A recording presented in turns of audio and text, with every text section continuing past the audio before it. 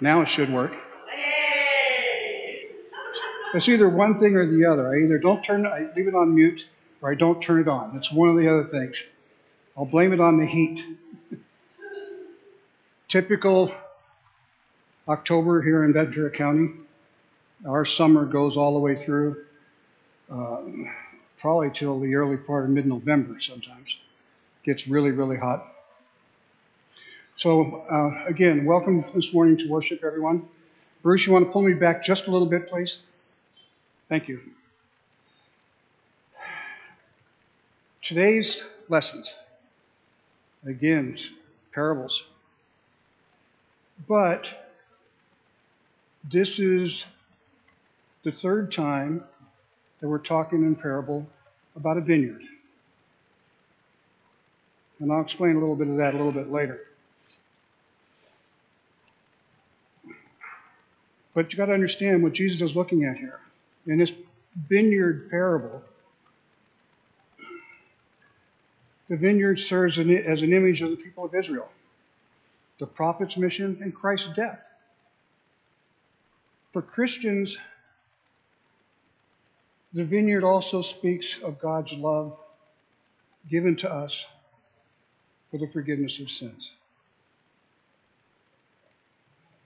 So I ask you to stand as we are as you are able, as we open today's service in the name of the Father and the Son and the Holy Spirit.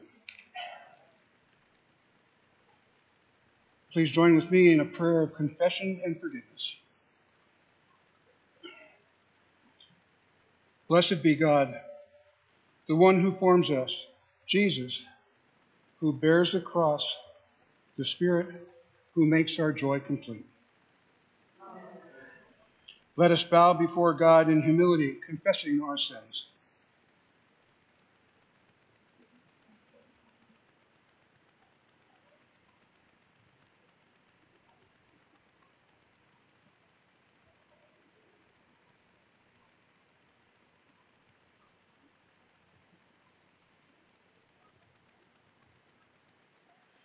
Steadfast and faithful God, you have revealed the ways of justice, yet we fail to follow you.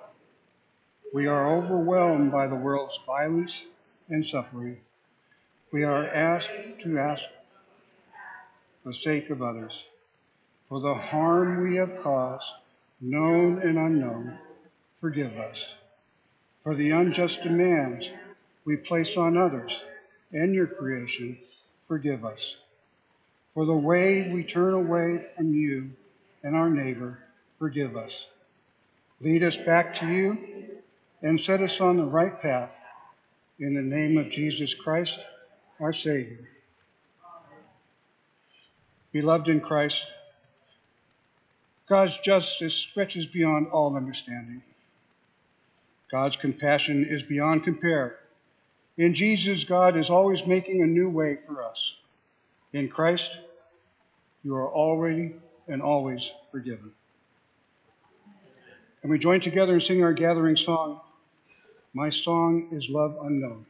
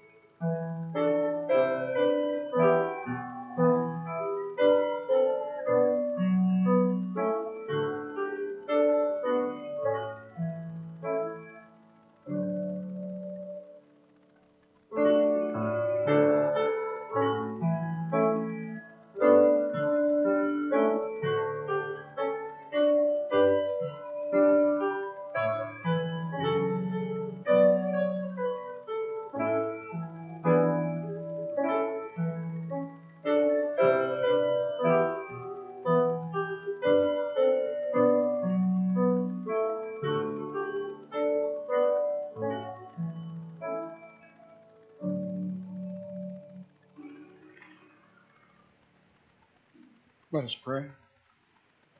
Beloved God, from you come all things that are good. Lead us by the inspiration of your Spirit to know those things that are right, and by your merciful guidance, help us to do them. Through Jesus Christ, our Savior and Lord. Please be comfortable for our first reading.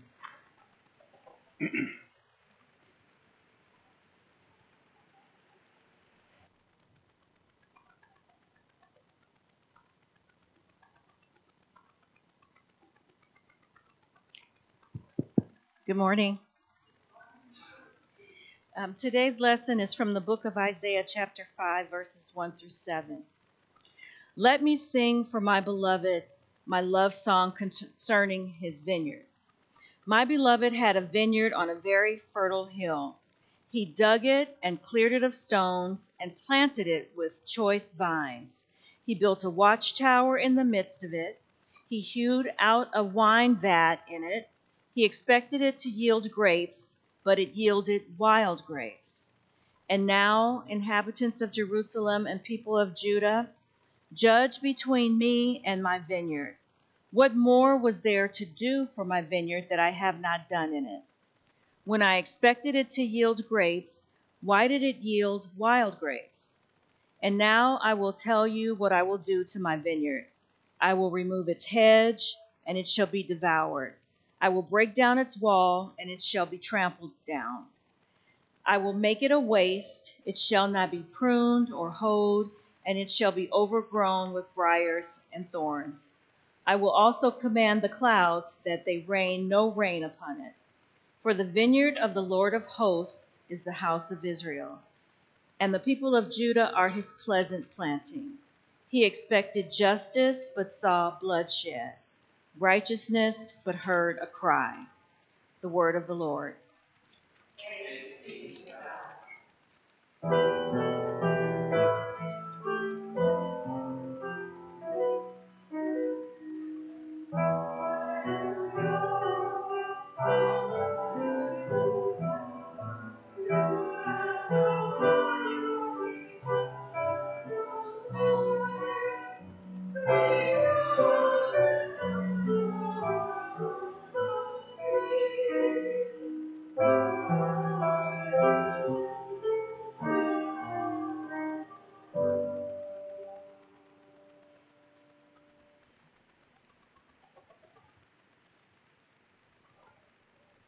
Gospel today comes from the 21st chapter of Matthew, starting at the 33rd verse.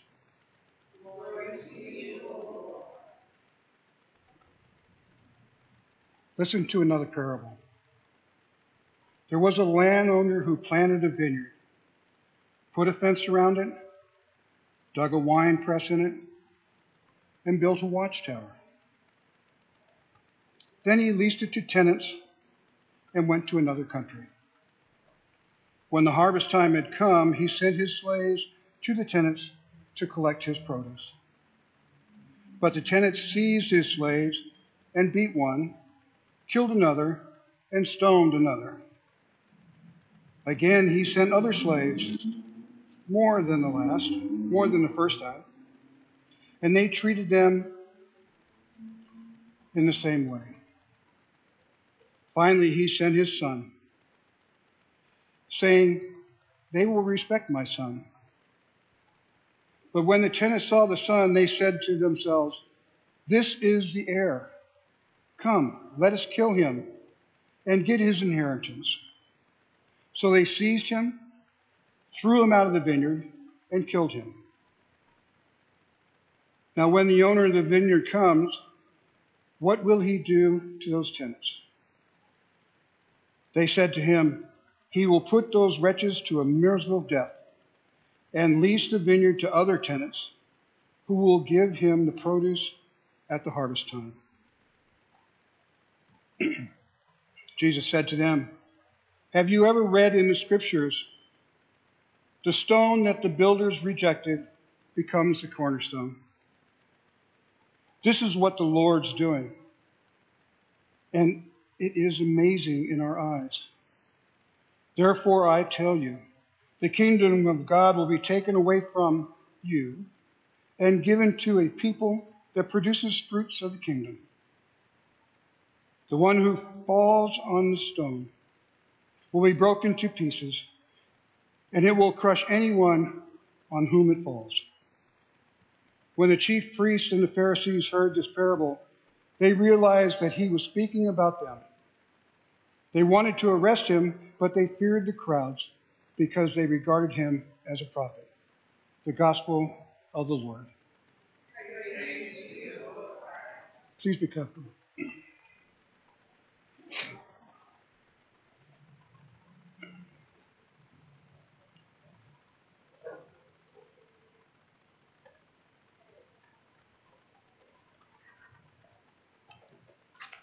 Give me one minute, please.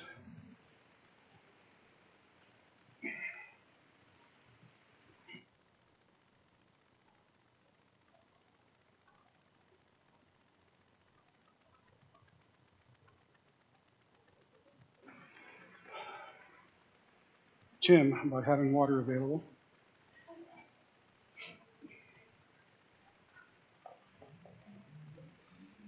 You know, I was looking for a title that I could give to this message. And the only one I could come up with was Grapes of Wrath, Grapes at Last.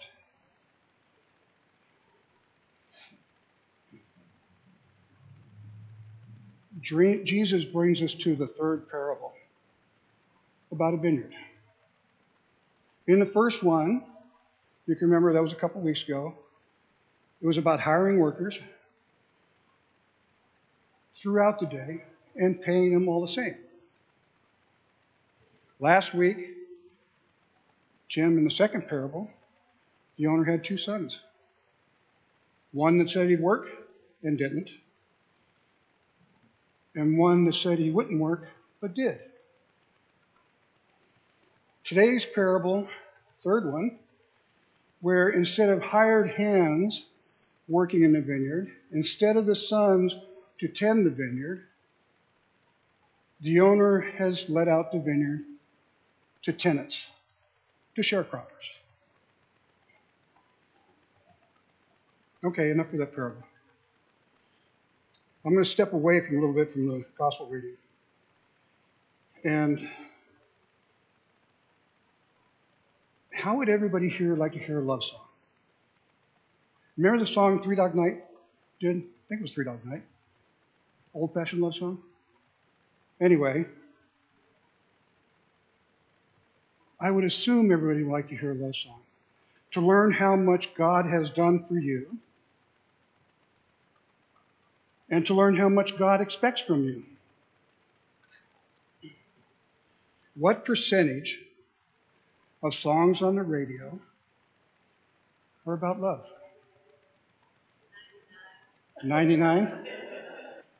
I was going to give you a range 50, 60, 70, 80, whatever. 99, that's a good answer. I don't, I don't think anybody knows the exact percentage. And whether it's rock or pop or gospel or or whatever. I would say most love songs that you hear on the radio today are about love in relationships. Does that mean that the songwriters understand love because they write about it so much? I don't think so. Not when you consider that most love songs are about people trying to figure out love. Wouldn't it be refreshing to hear a love song given by somebody who really knows what love is? That's what my message is about this morning. It is a love song written by and sung by God Himself. And it is meant for us. Believe it or not, we already heard it. I don't know if y'all are paying attention, but Robin sings really well because it was our first reading from Isaiah. When people write love songs, they use nicknames like honey pie or pumpkin or, or sunshine to describe the loved ones.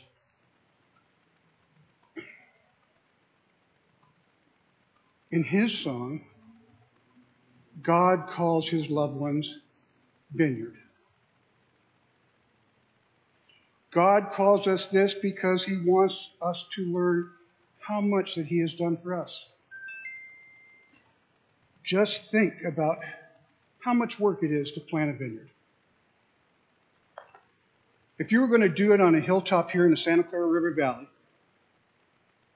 you would first have to clear away all the scrub bushes, all the cactus plants. You'd have to work and till the ground and remove all the stones, plant good vines, and then build a fence around it to keep out all the critters.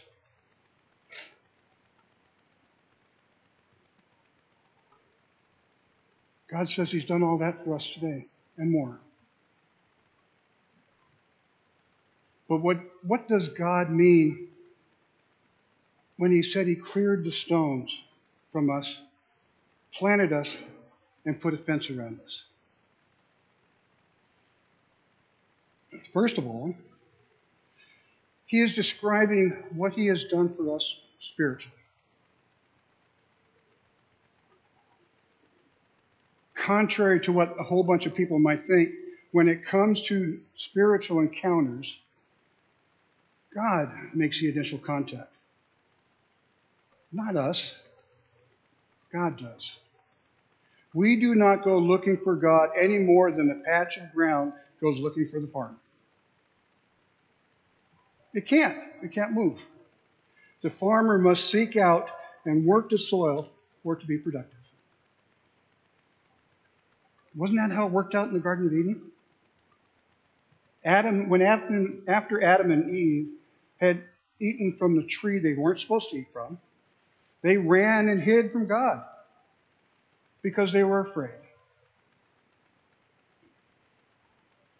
Adam and Eve would have remained in hiding had not God come looking for them and promised to send them a Savior to help with their sins. God continues to pursue sinners today. In fact, He's doing it right now. In the words of the first reading we had today, He wants you and me to know that He loves us. He is doing more than just telling us He loves us. He is creating and strengthening faith in that promise of love. Just as the farmer had to remove the stones before he could plant his vineyard, God must work over our stony hearts, remove our doubts and skepticism before he plants faith. This happens any time that we hear or we meditate on words from the Bible. Through those words, the Holy Spirit enters our hearts and goes to work to create faith.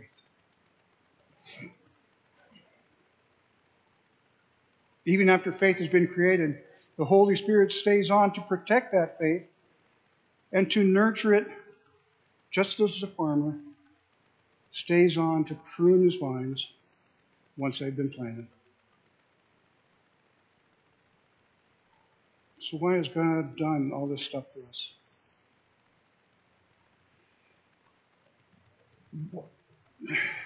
Why does a farmer go through the hassle of planting a vineyard? He plants the vineyard so he can enjoy the fruit that it produces.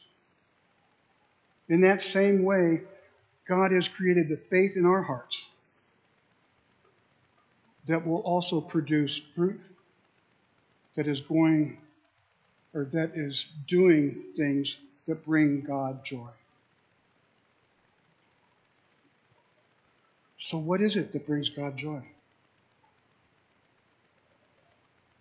In Galatians, St. Paul tells us that the fruit of the Spirit is love, joy, peace, patience, kindness, goodness, faithfulness, gentleness, and self control. When God sees us doing this stuff, it brings him joy.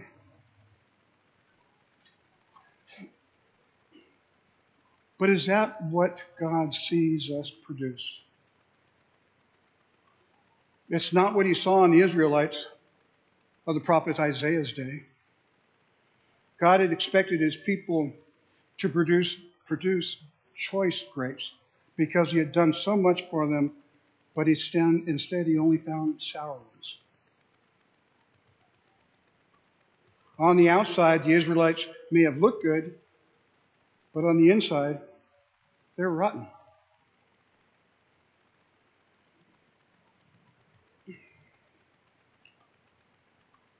God kind of brings that out in a wordplay in the last verse of our text we heard this morning. God said, For the justice, God looked for justice, but found bloodshed. He sought righteousness, but only heard the cries of distress. The Israelites may have thought that they were living the way that they were living was good enough for the Lord,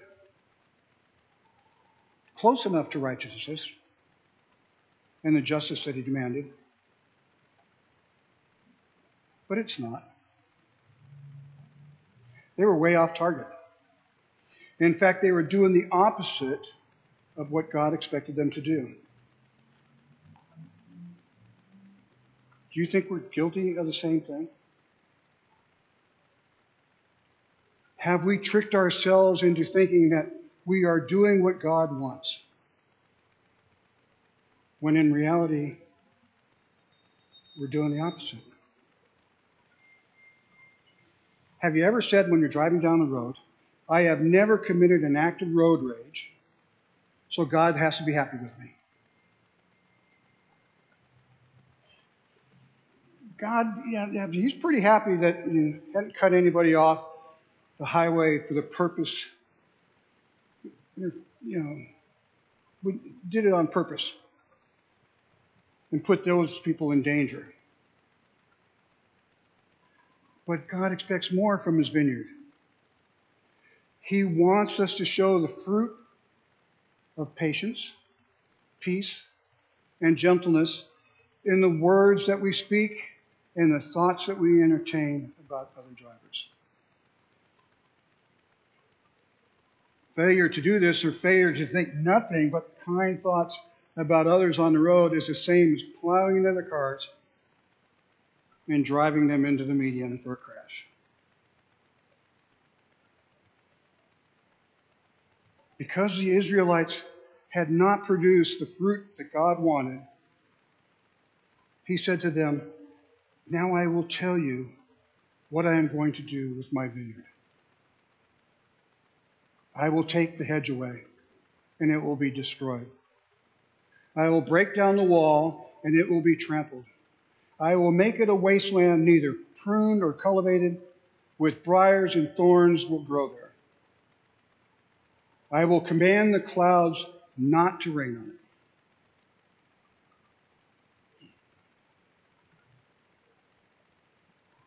Since his vineyard had not produced the grapes that he had wanted, God was going to let the vineyard be destroyed. I, am getting these looks. I'm going. They said this was supposed to be a love song, right? Well, it still is. The fact that the Israelites, or the fact that God told the Israelites what lay in store for them because they had failed to produce fruit was a loving thing. He warned them about the consequences of their sins because he did not want them to suffer those consequences. Make sense? Isn't that why that parents will tell their children not to touch a hot stove?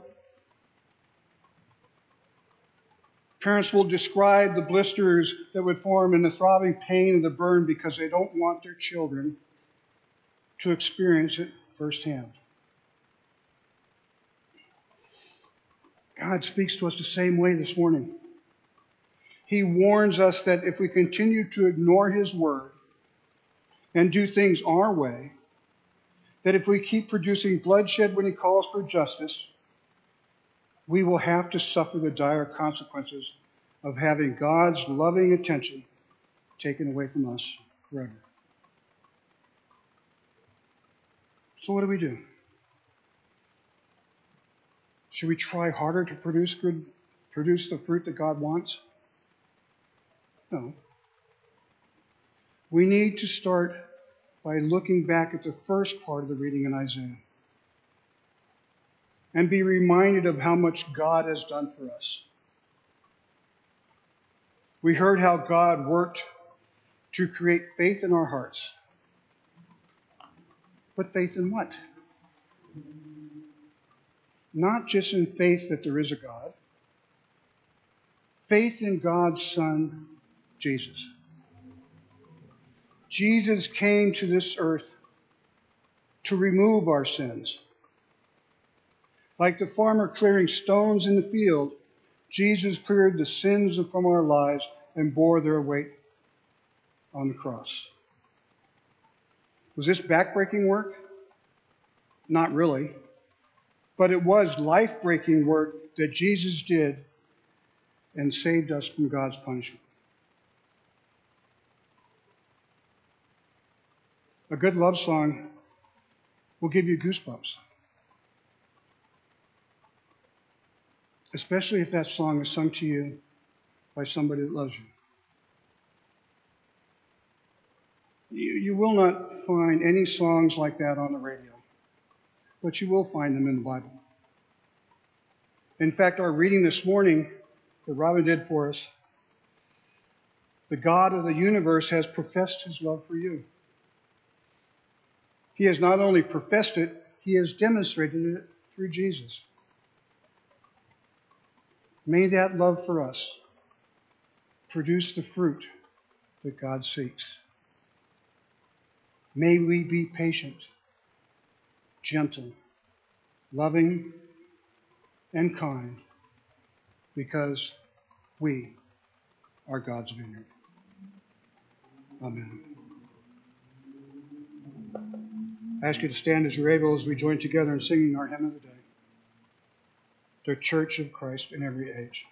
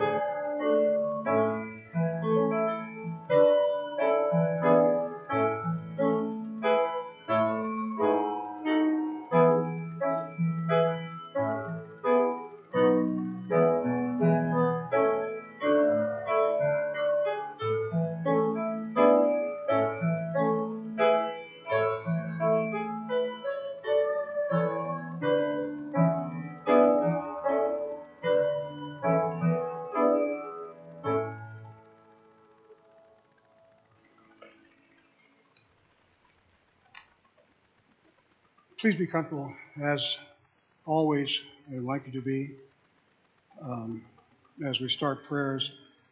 And as I'd like to open them up to the floor in just a minute, that things that I have to say um, concerning concerning the world today, concerning a war that may be starting in the Middle East, considering a war that still continues in Ukraine, considering Ohana, family, for the people in Hawaii that suffered so much in Lahaina. Remember the people that are in our grace house. Keep them in your prayers. Keep everybody in your prayers. Keep the world in our prayers. Is there anybody that would like to offer? Betty? Are we on, Bruce? Yeah, yeah. Remembering Gail Tenbus and her husband, her, her husband passed away this week and her family.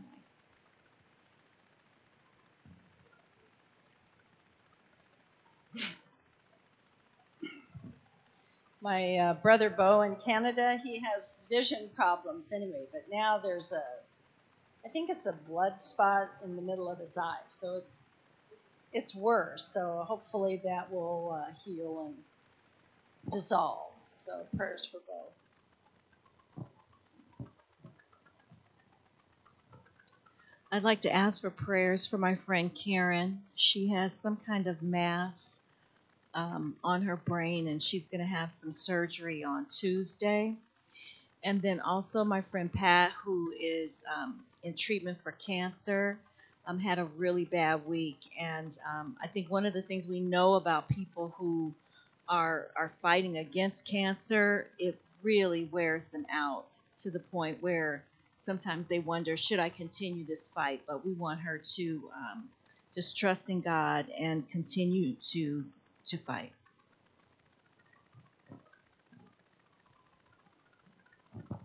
Uh, continued recovery for my brother Craig, who had a heart attack a couple of weeks ago. He was released from the hospital uh, this week, so our family is very thankful that you know he's continuing to make a good recovery, and we hope that it stays that way. Prayers for my neighbors and I as we deal with uh, parking lot repairs and trying to find parking in a very limited area around the neighborhood. So that's going to be challenging for the sick, disabled, and elderly in the complex. So I hope that everybody can uh, deal with that challenge.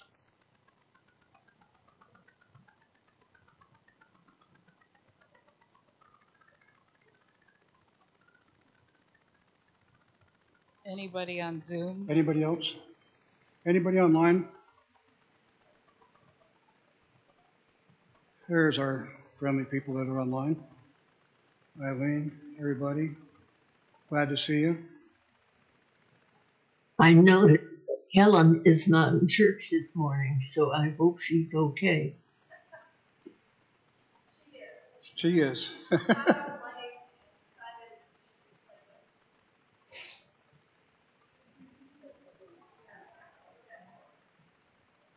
That Helen is, is fine. She just wasn't ready this morning to get going, so. She overslept, so she's fine. We checked on her this morning. Thank you. Yeah, she's going to be here on Wednesday, to, as the Love Ladies always are, on, on, to work on quilts. Anybody else? Keplingers.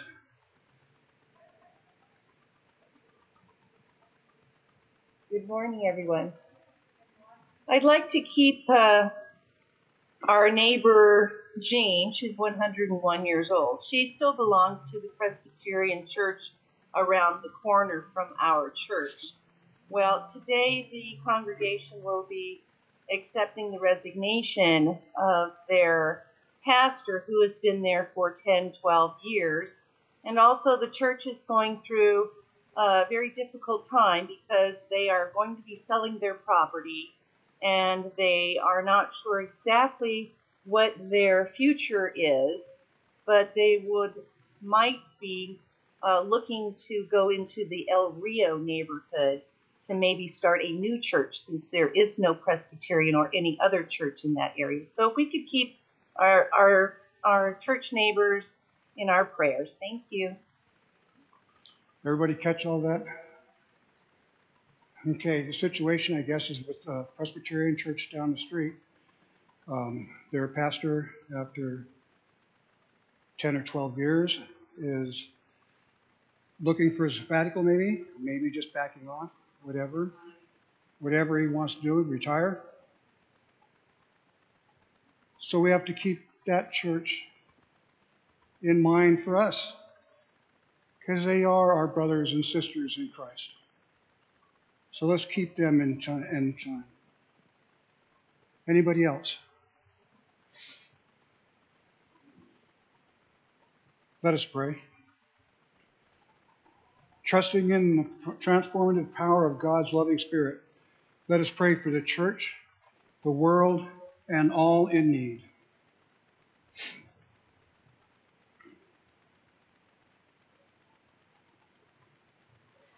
God of all grace, you are the source of life and joy. Strengthen the resolve of your church throughout the world, that together we press on towards the goal of your heavenly call in Jesus Christ. Lord, in your mercy. God of all creation, you plant and nourish the earth as your own precious vineyard. Bless the fields and orchards and the hands of those who labor in them, that your people are fed with an abundant harvest of good fruit. Lord, in your mercy. God of all the earth, you desire peace and justice between nations and peoples. Guide leaders of nations, states, provinces, and cities that they faithfully govern your people with wisdom, integrity, and compassion. Lord, in your mercy. God of all compassion, in, in Christ, you lovingly poured yourself out like wine for your people. Have mercy on all that mourn, who struggle with their mental health, whose cry out for justice whose hunger, and for those whose prayers we ask for today, and for the prayers that we hold in our hearts for all and any need. Lord, in your mercy. God of all steadfastness, you set Christ, you sent Christ as a cornerstone and the foundation of the church. Build up this congregation as living stones, that it stands in the community as a witness to your enduring faithfulness and love. Lord, in your mercy. God of all hope, the saints who came before us lived and died with their hearts fixed on you. We give you thanks for their faithful witness and we wait with hope for the great day when we join their voices in praise. Lord, in your mercy. Gracious God, into your hands we commend for all whom we pray, trusting in your unending love and your amazing grace through Jesus Christ, our Savior and Lord. Amen. And may the peace of Christ be with you all please share that as you feel comfortable.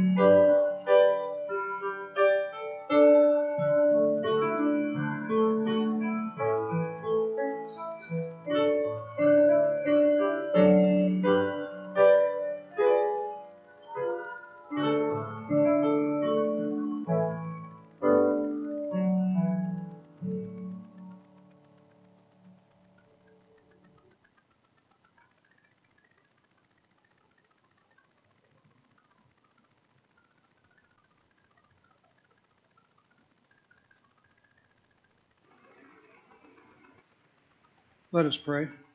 God of power, God of plenty, all things belong to you. We bring your gifts to the table that all might be fed. Form us into the body of your beloved Jesus Christ, our Savior. The Lord be with you. Lift up your hearts. Let us give thanks to the Lord our God. It is indeed right, our duty and our joy, that we should at all times and all places give thanks and praise to you, Almighty and merciful God, through our Savior Jesus Christ, who on this day overcame death in the grave, and by his glorious resurrection opened to us the way of everlasting life. And so, with all the choirs of angels, with the church on earth and the host of heaven, we praise your name and join in their unending hymn.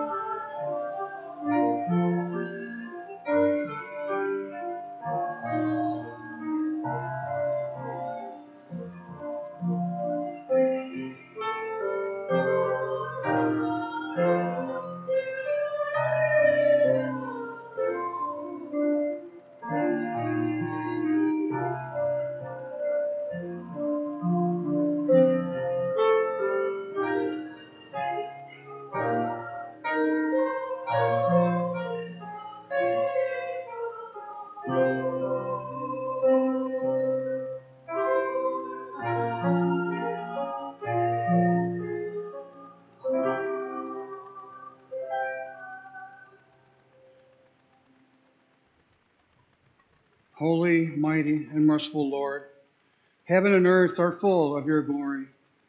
In great love, you sent us Jesus, your Son, who reached out to heal the sick and suffering, who preached the good news to the poor, and who on the cross opened his arms to all. In the night in which he was betrayed, our Lord Jesus took bread, gave thanks, broke it, and gave it to his disciples, saying, Take and eat. This is my body, given for you for the remembrance of me. Again, after supper, he took the cup. He gave thanks and gave it to all to drink, saying, This cup is the new covenant in my blood, shed for you and for all people for the forgiveness of sins. Do this for the remembrance of me.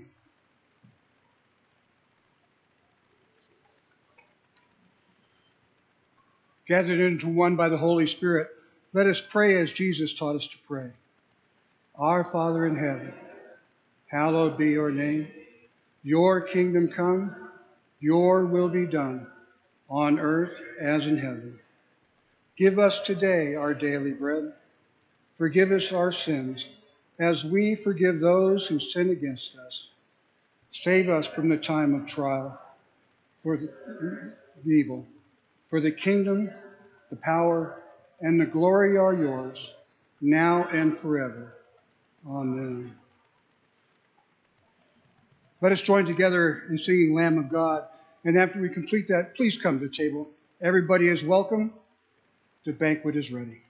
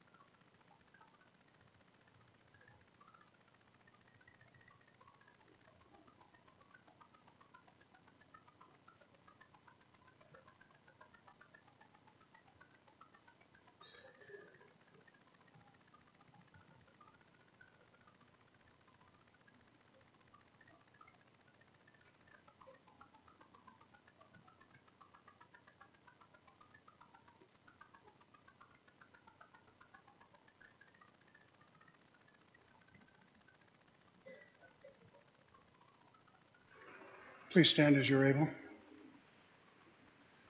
Let us pray. Blessed be your name, O God, for we have feasted on your word, Christ Jesus, the joy and delight of our hearts. Strengthened by this food, send us to gather the world to your banquet, where none are left out and all are satisfied.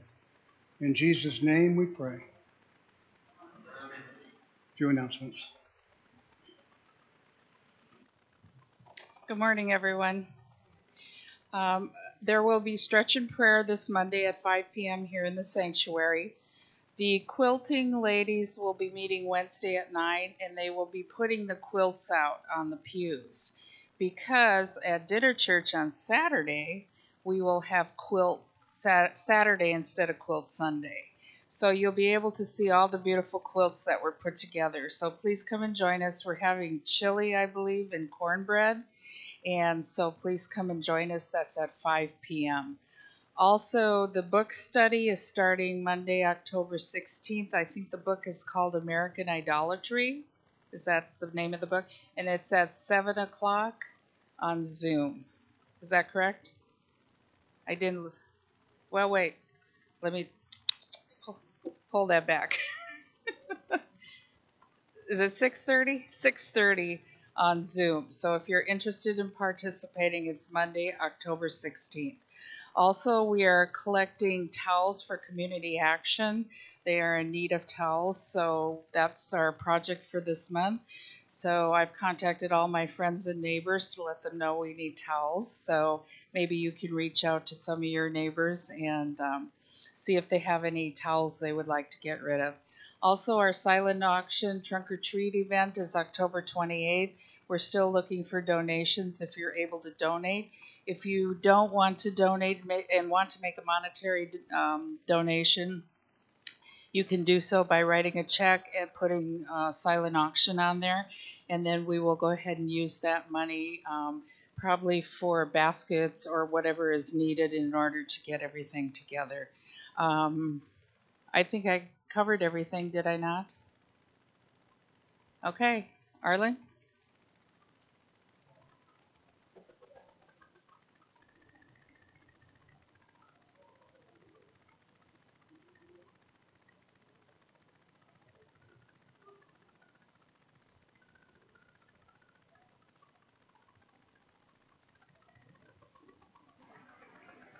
Says I'm on.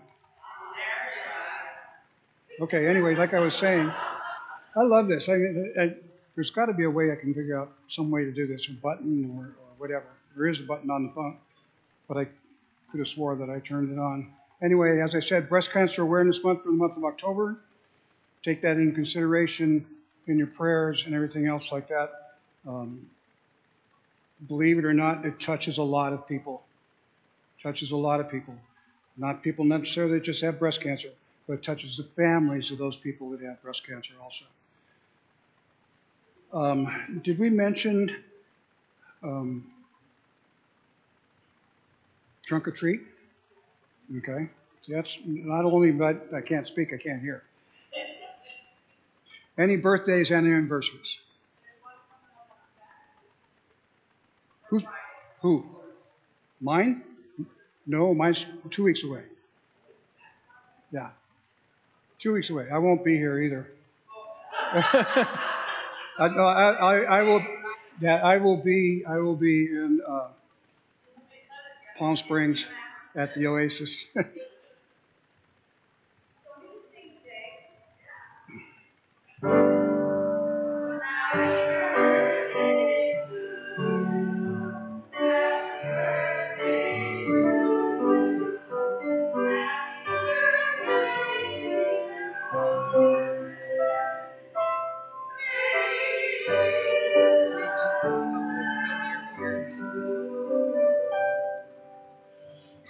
Thank you, everyone. I appreciate it. Um, one other quick thing, if I don't trip going up the stairs.